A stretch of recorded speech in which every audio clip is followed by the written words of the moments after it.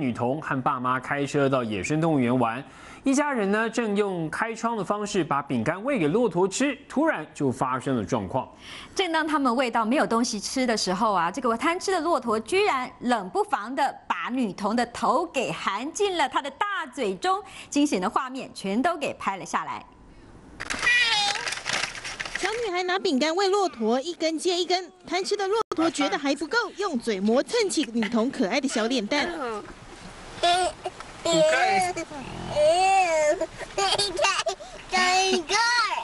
不满足的骆驼突然做出令人傻眼的动作，大家伙冷不防张开大嘴，将女童的头含进嘴里。爸爸镇定的用手将骆驼推开。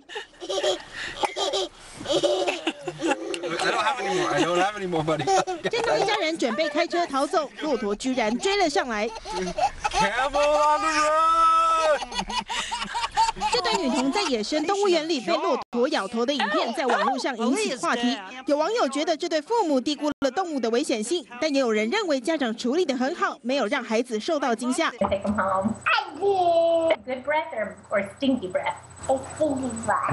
贪吃的骆驼在方向盘上留下一大坨白色唾液，味道十分不好闻。看来被咬头的女童回家得花一番功夫才能把头洗干净。